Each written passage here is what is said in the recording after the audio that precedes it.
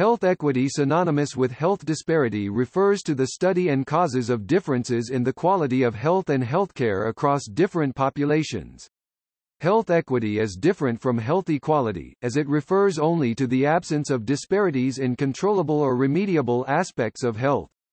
It is not possible to work towards complete equality in health, as there are some factors of health that are beyond human influence. Inequity implies some kinds of social injustice. Thus, if one population dies younger than another because of genetic differences, a non-remediable, controllable factor, we tend to say that there is a health inequality. On the other hand, if a population has a lower life expectancy due to lack of access to medications, the situation would be classified as a health inequity. These inequities may include differences in the presence of disease, health outcomes, or access to health care. Between populations with a different race, ethnicity, sexual orientation or socioeconomic status, health equity falls into two major categories, horizontal equity, the equal treatment of individuals or groups in the same circumstances, and vertical equity, the principle that individuals who are unequal should be treated differently according to their level of need. Disparities in the quality of health across populations are well documented globally in both developed and developing nations. The importance of equitable access to healthcare has been cited as crucial to achieving many of the Millennium Development Goals.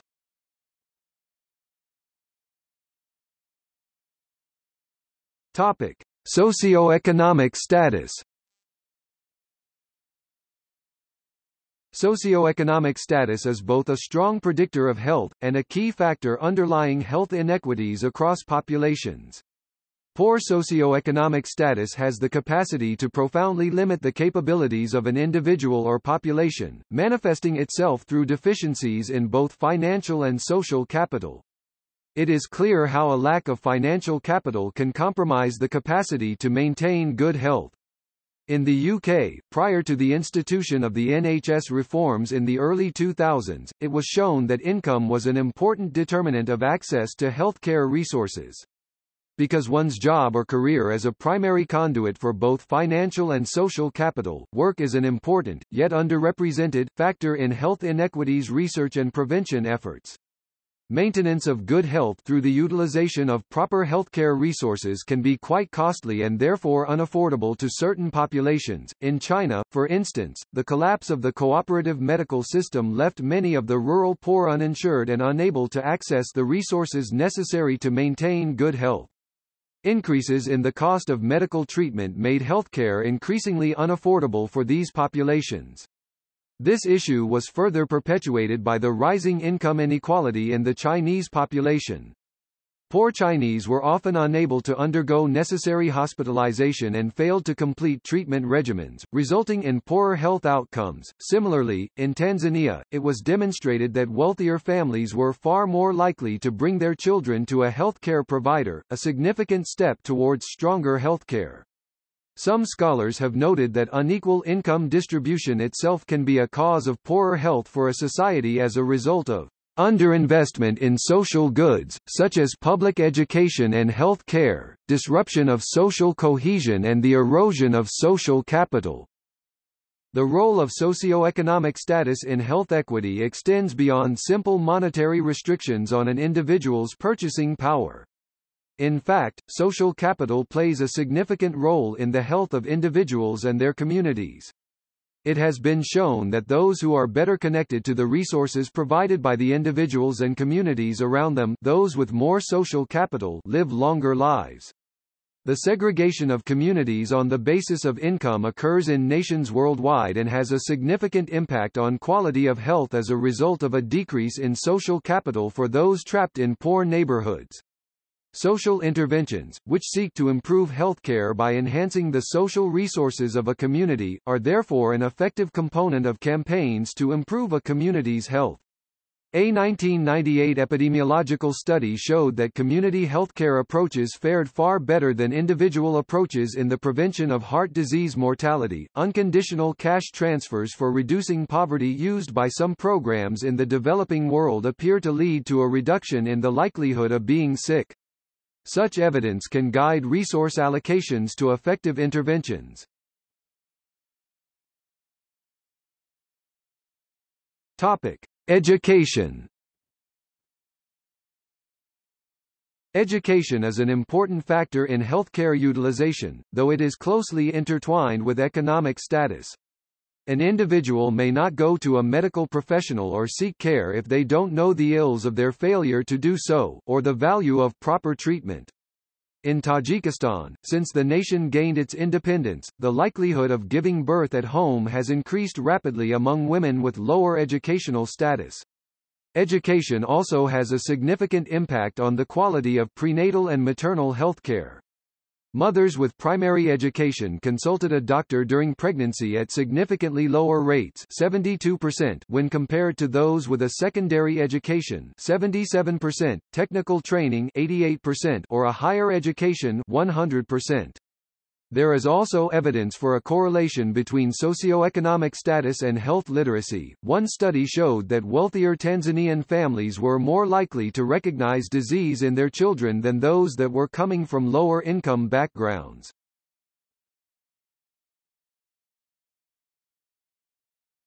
Topic: Spatial disparities in health. For some populations, access to healthcare and health resources is physically limited, resulting in health inequities. For instance, an individual might be physically incapable of traveling the distances required to reach healthcare services, or long distances can make seeking regular care unappealing despite the potential benefits. Costa Rica, for example, has demonstrable health spatial inequities with 12 to 14% of the population living in areas where healthcare is inaccessible.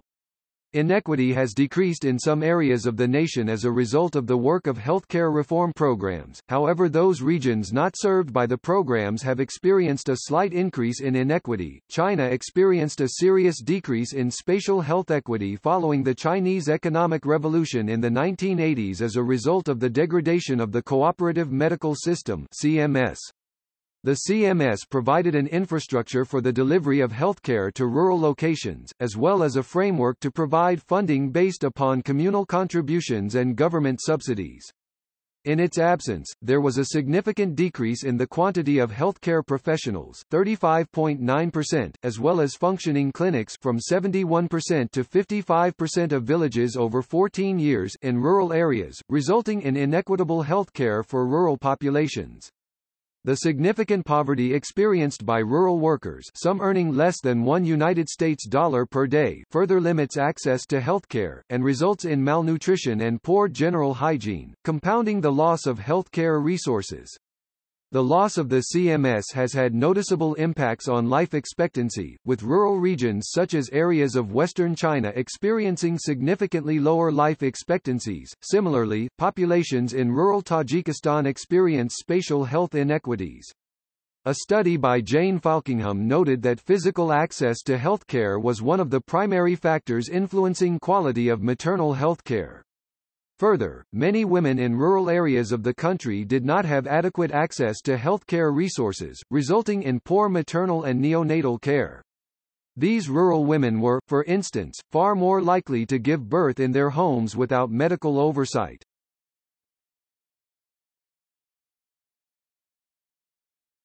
Topic: Ethnic and racial disparities. Along with the socio-economic factor of health disparities, race is another key factor. The United States historically had large disparities in health and access to adequate health care between races, and current evidence supports the notion that these racially centered disparities continue to exist and are a significant social health issue. The disparities in access to adequate health care include differences in the quality of care based on race and overall insurance coverage based on race. A 2002 study in the Journal of the American Medical Association identifies race as a significant determinant in the level of quality of care, with blacks receiving lower quality care than their white counterparts. This is in part because members of ethnic minorities such as African Americans are either earning low incomes, or living below the poverty line.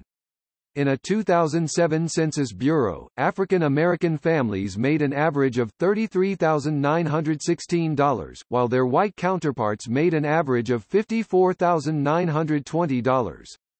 Due to a lack of affordable health care, the African American death rate reveals that African Americans have a higher rate of dying from treatable or preventable causes. According to a study conducted in 2005 by the Office of Minority Health, a U.S. Department of Health, African American men were 30% more likely than white men to die from heart disease. Also African American women were 34% more likely to die from breast cancer than their white counterparts. There are also considerable racial disparities in access to insurance coverage, with ethnic minorities generally having less insurance coverage than non-ethnic minorities.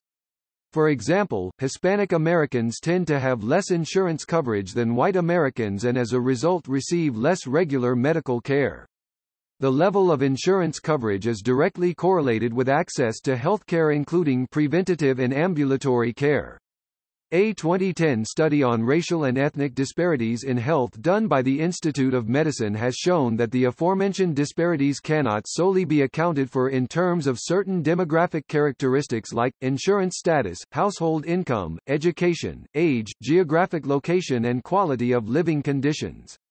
Even when the researchers corrected for these factors, the disparities persist. Slavery has contributed to disparate health outcomes for generations of African Americans in the United States. Ethnic health inequities also appear in nations across the African continent. A survey of the child mortality of major ethnic groups across 11 African nations Central African Republic, Côte d'Ivoire, Ghana, Kenya, Mali, Namibia, Niger, Rwanda, Senegal, Uganda, and Zambia was published in 2000 by the WHO.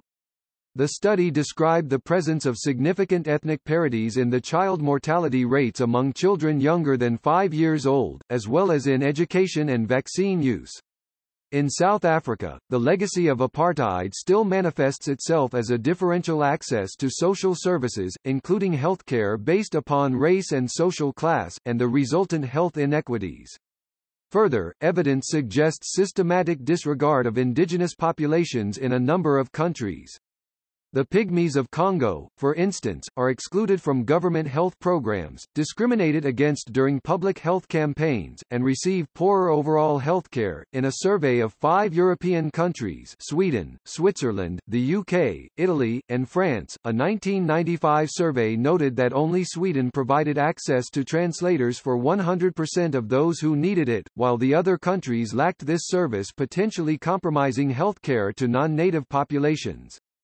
Given that non-natives composed a considerable section of these nations 6%, 17%, 3%, 1%, and 6% respectively, this could have significant detrimental effects on the health equity of the nation.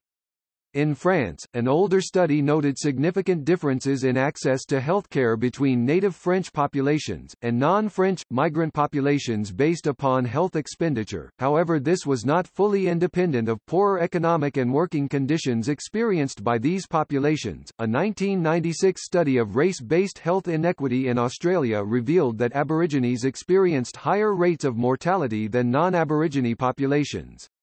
Aborigine populations experienced 10 times greater mortality in the 30 to 40 age range, 2.5 times greater infant mortality rate, and 3 times greater age standardized mortality rate. Rates of diarrheal diseases and tuberculosis are also significantly greater in this population 16 and 15 times greater respectively, which is indicative of the poor healthcare of this ethnic group. At this point in time, the parities in life expectancy at birth between indigenous and non-indigenous peoples were highest in Australia, when compared to the US, Canada and New Zealand. In South America, indigenous populations faced similarly poor health outcomes with maternal and infant mortality rates that were significantly higher up to 3 to 4 times greater than the national average.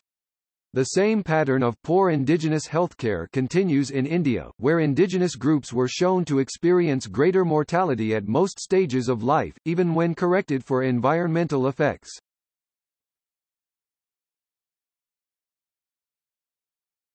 Topic: LGBT health disparities. Sexuality is a basis of health discrimination and inequity throughout the world. Homosexual, bisexual, transgender, and gender variant populations around the world experience a range of health problems related to their sexuality and gender identity, some of which are complicated further by limited research. In spite of recent advances, LGBT populations in China, India, and Chile continue to face significant discrimination and barriers to care.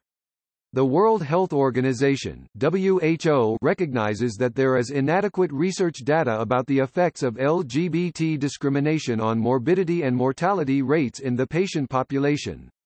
In addition, retrospective epidemiological studies on LGBT populations are difficult to conduct as a result of the practice that sexual orientation is not noted on death certificates.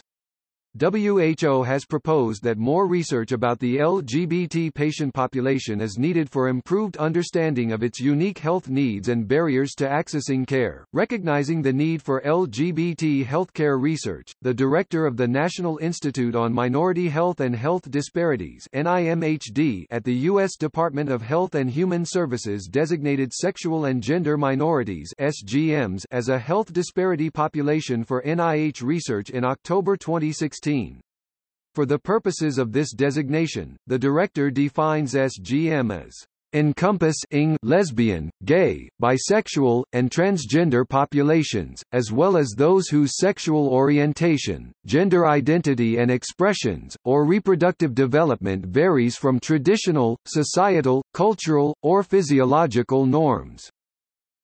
This designation has prioritized research into the extent, cause, and potential mitigation of health disparities among SGM populations within the larger LGBT community. While many aspects of LGBT health disparities are heretofore uninvestigated, at this stage, it is known that one of the main forms of healthcare discrimination LGBT individuals face is discrimination from healthcare workers or institutions themselves. A systematic literature review of publications in English and Portuguese from 2004 to 2014 demonstrate significant difficulties in accessing care secondary to discrimination and homophobia from healthcare professionals. This discrimination can take the form of verbal abuse, disrespectful conduct, refusal of care, the withholding of health information, inadequate treatment, and outright violence. In a study analyzing the quality of healthcare for South African men who have sex with men MSM, researchers interviewed a cohort of individuals about their health experiences, finding that MSM who identified as homosexual felt their access to healthcare was limited due to an inability to find clinics employing healthcare workers who did not discriminate against their sexuality. They also reportedly faced homophobic verbal harassment from healthcare workers when presenting for STI treatment. Further, MSM who did not feel comfortable disclosing their sexual activity to healthcare workers failed to identify as homosexuals, which limited the quality of the treatment they received. Additionally, members of the LGBT community contend with healthcare disparities due, in part, to lack of provider training and awareness of the population's healthcare needs.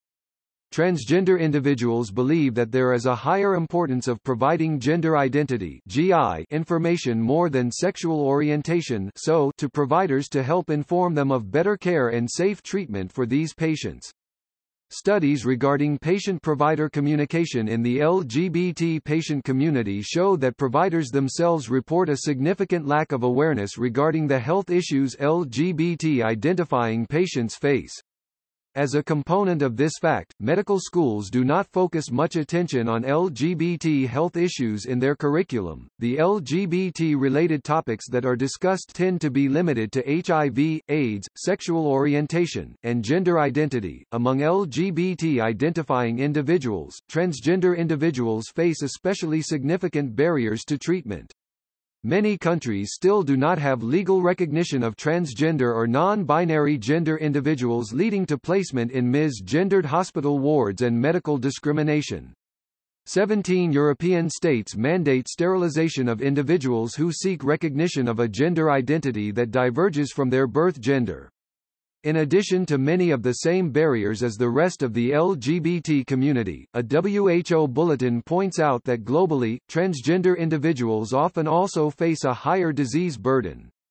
A 2010 survey of transgender and gender variant people in the United States revealed that transgender individuals faced a significant level of discrimination. The survey indicated that 19% of individuals experienced a healthcare worker refusing care because of their gender, 28% faced harassment from a healthcare worker, 2% encountered violence, and 50% saw a doctor who was not able or qualified to provide transgender-sensitive care. In Kuwait, there have been reports of transgender individuals being reported to legal authorities by medical professionals, preventing safe access to care.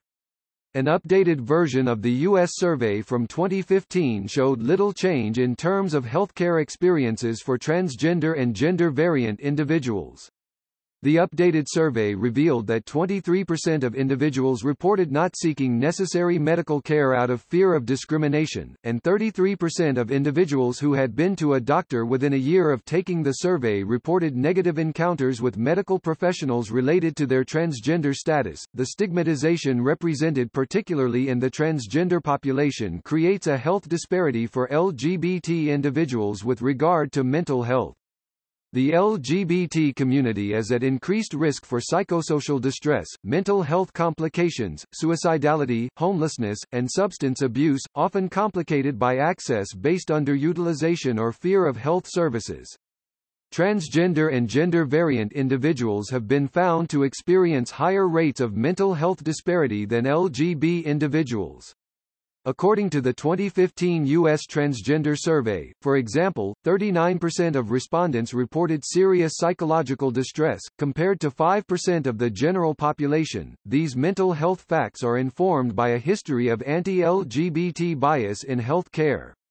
The Diagnostic and Statistical Manual of Mental Disorders DSM listed homosexuality as a disorder until 1973. Transgender status was listed as a disorder until 2012. This was amended in 2013 with the DSM-5 when gender identity disorder was replaced with gender dysphoria, reflecting that simply identifying as transgender is not itself pathological and that the diagnosis is instead for the distress a transgender person may experience as a result of the discordance between assigned gender and gender identity. LGBT health issues have received disproportionately low levels of medical research, leading to difficulties in assessing appropriate strategies for LGBT treatment. For instance, a review of medical literature regarding LGBT patients revealed that there are significant gaps in the medical understanding of cervical cancer in lesbian and bisexual individuals it is unclear whether its prevalence in this community is a result of probability or some other preventable cause. For example, LGBT people report poorer cancer care experiences. It is incorrectly assumed that LGBT women have a lower incidence of cervical cancer than their heterosexual counterparts, resulting in lower rates of screening. Such findings illustrate the need for continued research focused on the circumstances and needs of LGBT individuals and the inclusion in policy frameworks of sexual orientation and gender identity as social determinants of health. A June 2017 review sponsored by the European Commission as part of a larger project to identify and diminish health inequities found that LGB are at higher risk of some cancers and that LGBTI were at higher risk of mental illness, and that these risks were not adequately addressed. The causes of health inequities were, according to the review, I cultural and social norms that preference and prioritize heterosexuality, e minority stress associated with sexual orientation, gender identity and sex characteristics, e victimization, iv discrimination individual and institutional, and v stigma.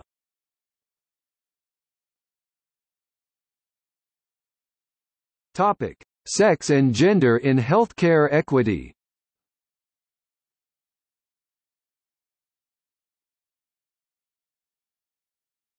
Topic: Sex and gender in medicine. Both gender and sex are significant factors that influence health. Sex is characterized by female and male biological differences in regards to gene expression, hormonal concentration, and anatomical characteristics. Gender is an expression of behavior and lifestyle choices. both sex and gender inform each other, and it is important to note that differences between the two genders influence disease manifestation and associated healthcare approaches. Understanding how the interaction of sex and gender contributes to disparity in the context of health allows providers to ensure quality outcomes for patients. This interaction is complicated by the difficulty of distinguishing between sex and gender given their intertwined nature. Sex modifies gender, and gender can modify sex, thereby impacting health. Sex and gender can both be considered sources of health disparity, both contribute to men and women's susceptibility to various health conditions, including cardiovascular disease and autoimmune disorders.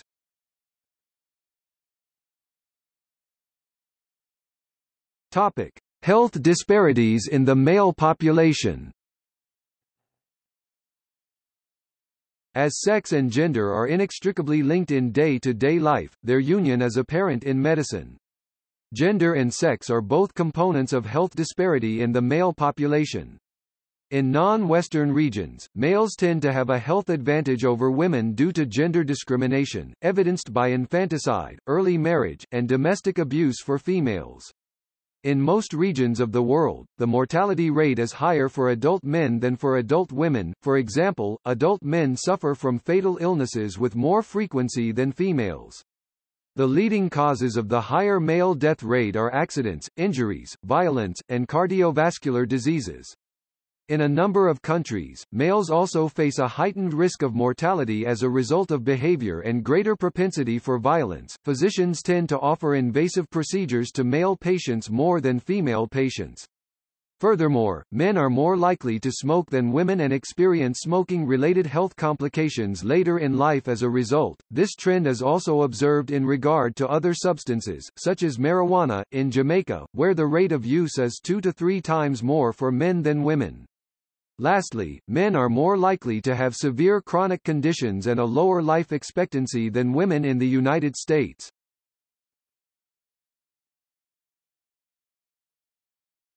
Topic: Health disparities in the female population. Gender and sex are also components of health disparity in the female population.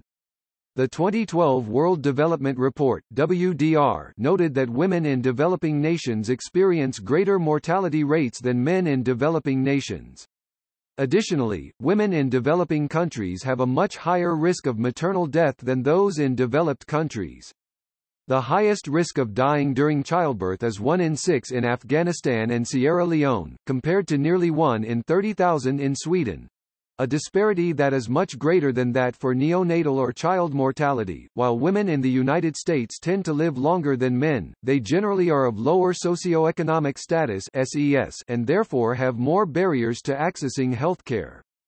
Being of lower SES also tends to increase societal pressures, which can lead to higher rates of depression and chronic stress and, in turn, negatively impact health. Women are also more likely than men to suffer from sexual or intimate partner violence both in the United States and worldwide. In Europe, women who grew up in poverty are more likely to have lower muscle strength and higher disability in old age. Women have better access to healthcare in the United States than they do in many other places in the world.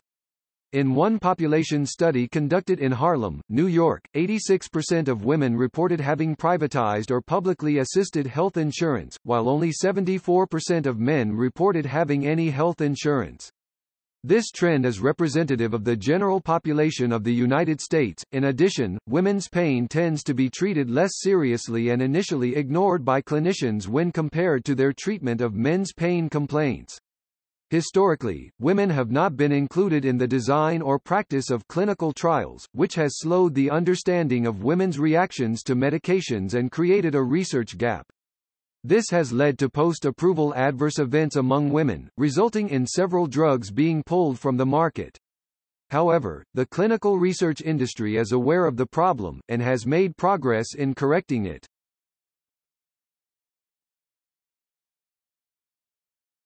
Topic. Cultural factors Health disparities are also due in part to cultural factors that involve practices based not only on sex, but also gender status. For example, in China, health disparities have distinguished medical treatment for men and women due to the cultural phenomenon of preference for male children. Recently, gender-based disparities have decreased as females have begun to receive higher quality care. Additionally, a girl's chances of survival are impacted by the presence of a male sibling. While girls do have the same chance of survival as boys if they are the oldest girl, they have a higher probability of being aborted or dying young if they have an older sister. In India, gender-based health inequities are apparent in early childhood. Many families provide better nutrition for boys in the interest of maximizing future productivity given that boys are generally seen as breadwinners. In addition, boys receive better care than girls and are hospitalized at a greater rate. The magnitude of these disparities increases with the severity of poverty in a given population. Additionally, the cultural practice of female genital mutilation (FGM) is known to impact women's health, though is difficult to know the worldwide extent of this practice. While generally thought of as a sub-Saharan African practice, it may have roots in the Middle East as well. The estimated 3 million girls who are subjected to FGM each year potentially suffer both immediate and lifelong negative effects. Immediately following FGM, girls commonly experience excessive bleeding and urine retention. Long-term consequences include urinary tract infections, bacterial vaginosis, pain during intercourse, and difficulties in childbirth that include prolonged labor, vaginal tears, and excessive bleeding. Women who have undergone FGM also have higher rates of post-traumatic stress disorder (PTSD) and herpes simplex virus 2 (HSV2) than women who have not.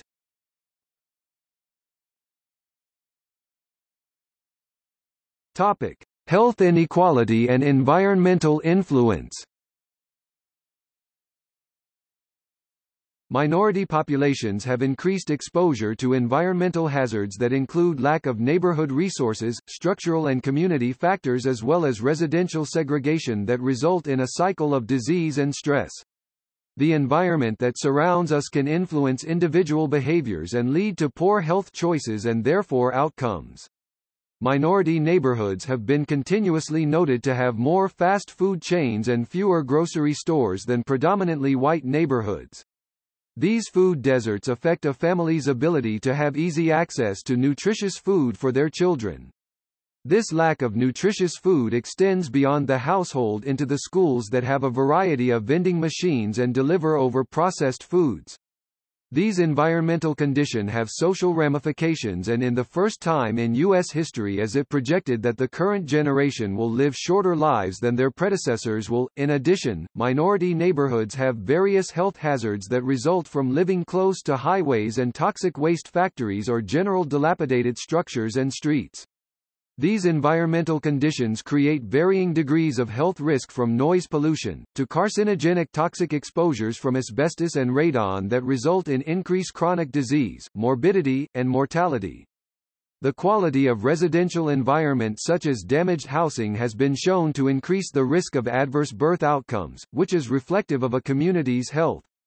Housing conditions can create varying degrees of health risk that lead to complications of birth and long-term consequences in the aging population.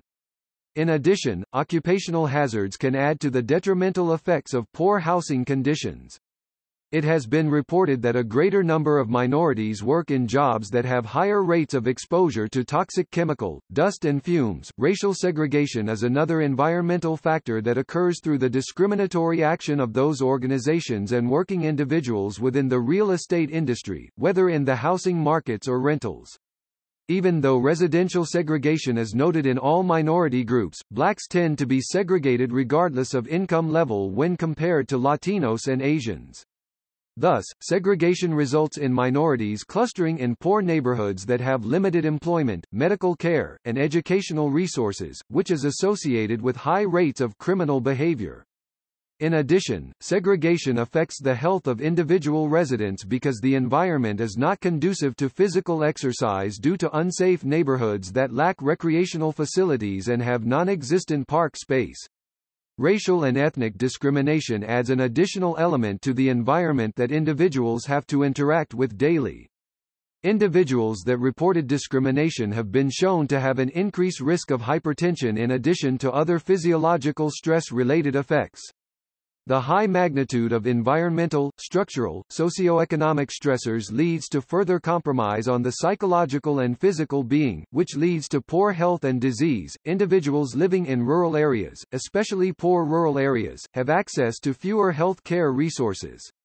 Although 20% of the U.S. population lives in rural areas, only 9% of physicians practice in rural settings.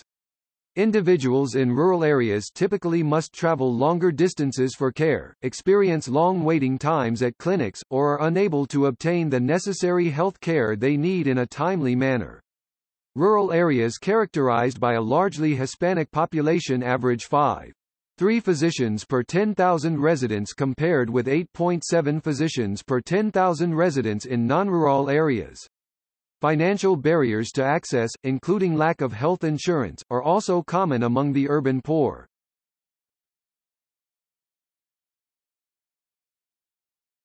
Topic: Disparities in access to health care. Reasons for disparities in access to health care are many, but can include the following Lack of universal health care or health insurance coverage Without health insurance, patients are more likely to postpone medical care, go without needed medical care, go without prescription medicines, and be denied access to care. Minority groups in the United States lack insurance coverage at higher rates than whites. This problem does not exist in countries with fully funded public health systems, such as the exemplar of the NHS. Lack of a regular source of care. Without access to a regular source of care, patients have greater difficulty obtaining care, fewer doctor visits, and more difficulty obtaining prescription drugs. Compared to whites, minority groups in the United States are less likely to have a doctor they go to on a regular basis and are more likely to use emergency rooms and clinics as their regular source of care. In the United Kingdom, which is much more racially harmonious, this issue arises for a different reason. Since 2004, NHS GPs have not been responsible for care out of normal GP surgery opening hours, leading to significantly higher attendances in A plus E. Lack of financial resources. Although the lack of financial resources is a barrier to health care access for many Americans, the impact on access appears to be greater for minority populations. Legal barriers. Access to medical care by low-income immigrant minorities can be hindered by legal barriers to public insurance programs. For example, in the United States federal law bars states from providing Medicaid coverage to immigrants who have been in the country fewer than five years. Another example could be when a non-English speaking person attends a clinic where the receptionist does not speak the person's language. This is mostly seen in Hispanic people who do not speak English. Structural barriers. These barriers include poor transportation, an inability to schedule appointments quickly or during convenient hours, and excessive time spent in the waiting room, all of which affect a person's ability and willingness to obtain needed care. The health care financing system. The Institute of Medicine in the United States says fragmentation of the U.S. health care delivery and financing system is a barrier to accessing care. Racial and ethnic minorities are more likely to be enrolled in health insurance plans which place limits on covered services and offer a limited number of health care providers. Scarcity of providers. In inner cities, rural areas, and communities with high concentrations of minority populations, access to medical care can be limited due to the scarcity of primary care practitioners, specialists, and diagnostic facilities. In the UK, Monitor a quango has a legal obligation to ensure that sufficient provision exists in all parts of the nation. Linguistic barriers Language differences restrict access to medical care for minorities in the United States who are not English proficient. Health literacy. This is where patients have problems obtaining, processing, and understanding basic health information. For example, patients with a poor understanding of good health may not know when it is necessary to seek care for certain symptoms. While problems with health literacy are not limited to minority groups, the problem can be more pronounced in these groups than in whites due to socio-economic and educational factors. A study conducted in Mdantsane, South Africa depicts the correlation of maternal education and the antenatal visits for pregnancy.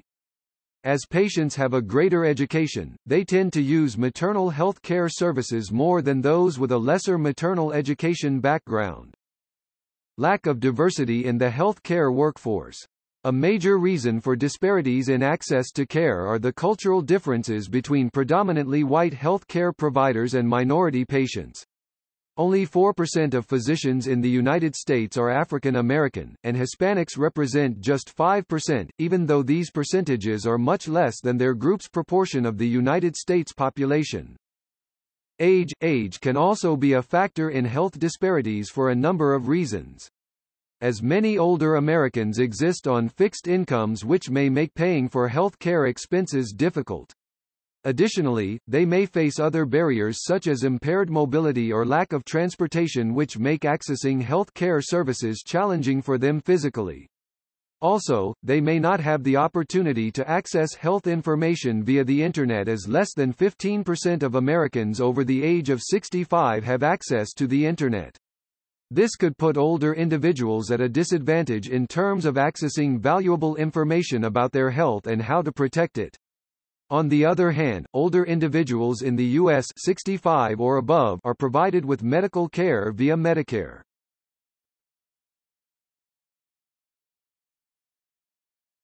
Topic. Disparities in quality of health care Health disparities in the quality of care exist and are based on language and ethnicity, race which includes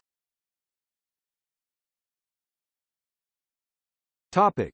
Problems with patient-provider communication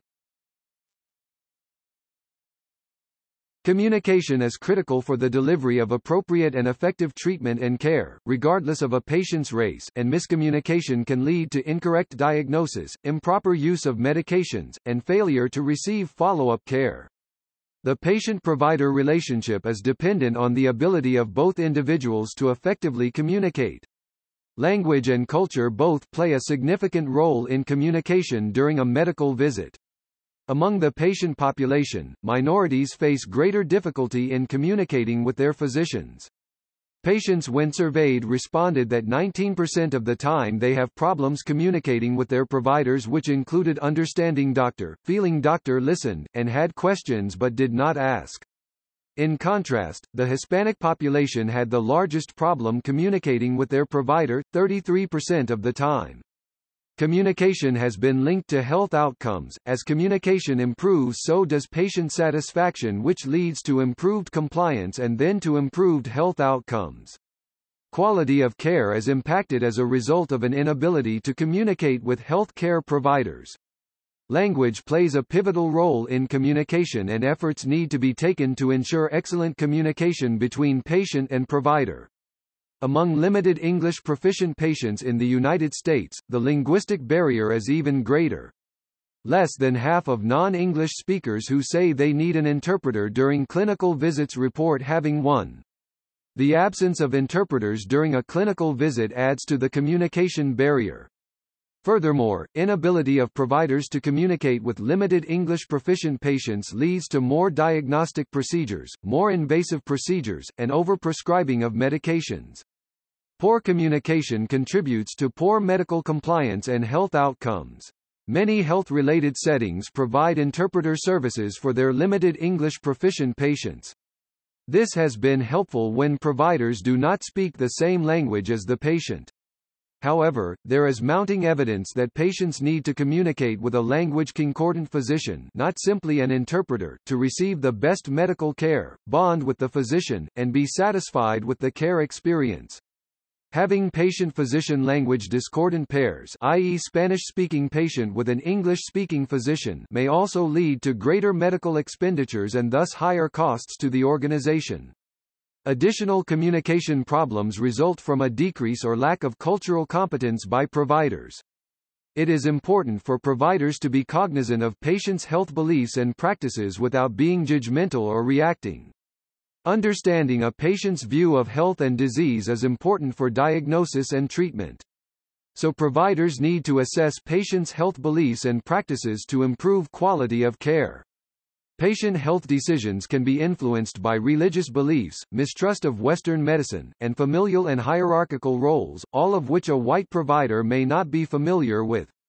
Other type of communication problems are seen in LGBT health care with the spoken heterosexist conscious or unconscious attitude on LGBT patients, lack of understanding on issues like having no sex with men lesbians, gynecologic examinations and other issues.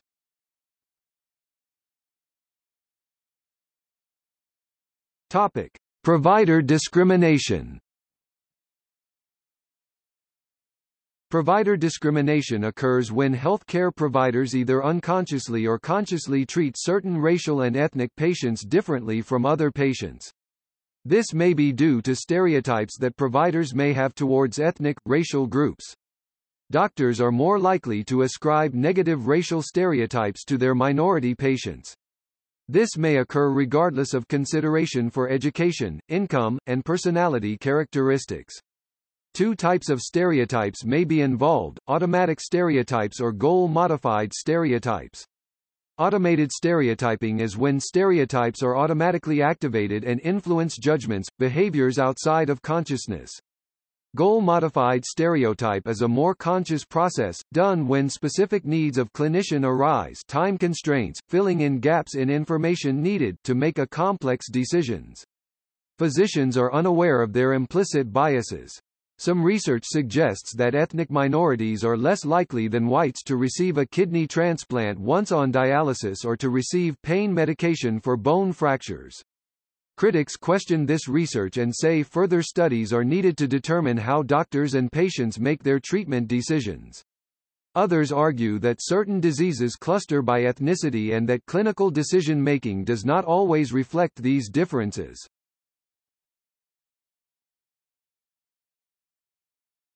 Topic: Lack of preventive care. According to the 2009 National Healthcare Disparities Report, uninsured Americans are less likely to receive preventive services in health care. For example, minorities are not regularly screened for colon cancer and the death rate for colon cancer has increased among African Americans and Hispanic populations. Furthermore, limited English proficient patients are also less likely to receive preventive health services such as mammograms. Studies have shown that use of professional interpreters have significantly reduced disparities in the rates of fecal occult testing, flu immunizations and pap smears. In the UK, Public Health England, a universal service free at the point of use, which forms part of the NHS, offers regular screening to any member of the population considered to be in an at-risk group such as individuals over 45 for major disease such as colon cancer, or diabetic retinopathy.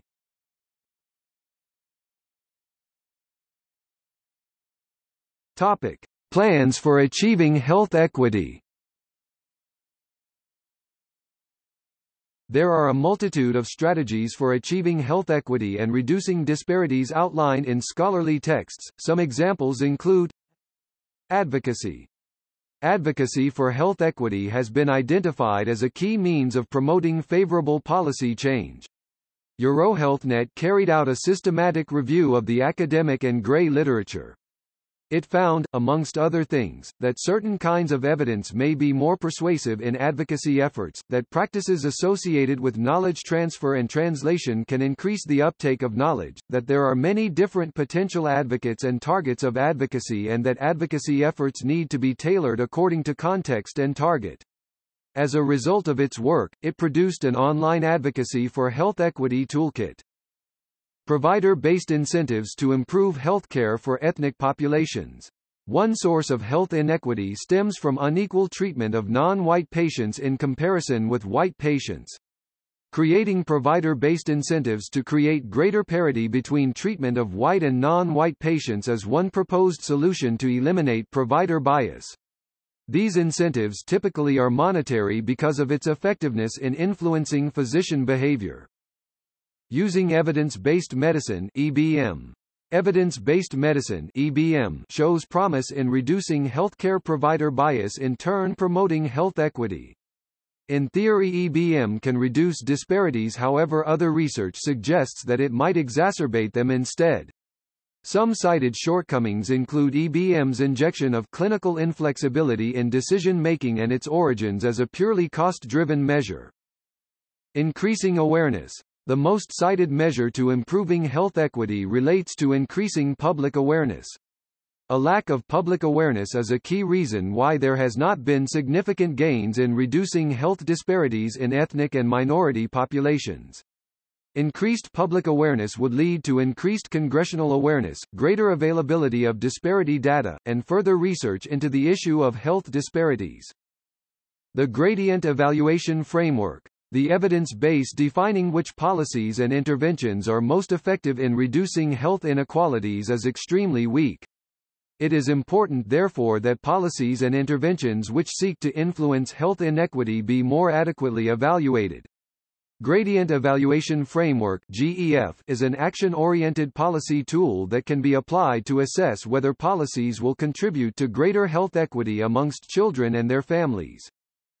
The AIM Framework in a pilot study, researchers examined the role of AIM ability, incentives, and management feedback in reducing care disparity in pressure ulcer detection between African American and Caucasian residents. The results showed that while the program was implemented, the provision of 1 training to enhance ability, 2 monetary incentives to enhance motivation, and 3 management feedback to enhance accountability led to successful reduction in pressure ulcers. Specifically, the detection gap between the two groups decreased. The researchers suggested additional replications with longer duration to assess the effectiveness of the AIM framework.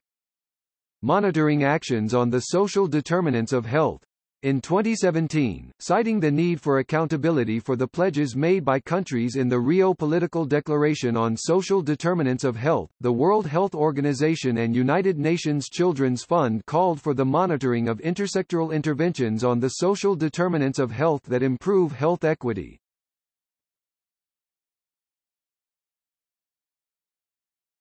Topic: Health inequalities. Health inequality is the term used in a number of countries to refer to those instances whereby the health of two demographic groups not necessarily ethnic or racial groups differs despite comparative access to health care services.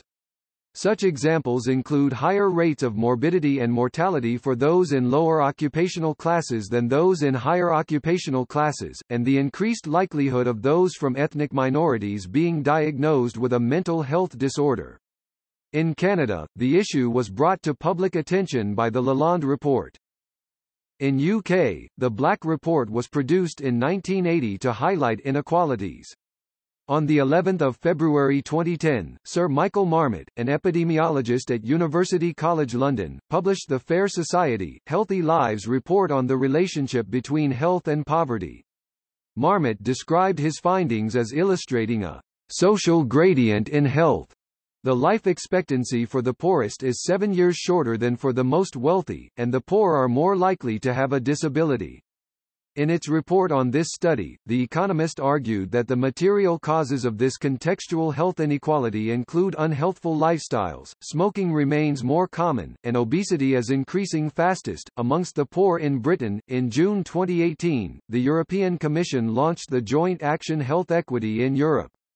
49 participants from 25 European Union member states will work together to address health inequalities and the underlying social determinants of health across Europe.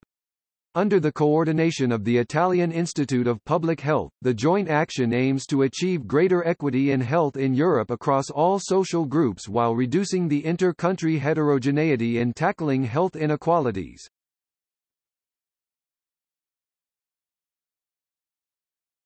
Topic: Poor health and economic inequality. Poor health outcomes appear to be an effect of economic inequality across a population. Nations and regions with greater economic inequality show poorer outcomes in life expectancy, mental health, drug abuse, obesity, educational performance, teenage birth rates, and ill health due to violence. On an international level, there is a positive correlation between developed countries with high economic equality and longevity. This is unrelated to average income per capita in wealthy nations. Economic gain only impacts life expectancy to a great degree in countries in which the mean per capita annual income is less than approximately $25,000. The United States shows exceptionally low health outcomes for a developed country, despite having the highest national healthcare expenditure in the world. The U.S. ranks 31st in life expectancy. Americans have a lower life expectancy than their European counterparts, even when factors such as race, income, diet, smoking, and education are controlled for. Relative inequality negatively affects health on an international, national, and institutional levels. The patterns seen internationally hold true between more and less economically equal states in the United States. The patterns seen internationally hold true between more and less economically equal states in the United States, that is, more equal states show more desirable health outcomes. Importantly, inequality can have a negative health impact on members of lower echelons of institutions. The Whitehall I and II studies looked at the rates of cardiovascular disease and other health risks in British civil servants and found that, even when lifestyle factors were controlled for, members of lower status in the institution showed increased mortality and morbidity on a sliding downward scale from their higher status counterparts. The negative aspects of inequality are spread across the population.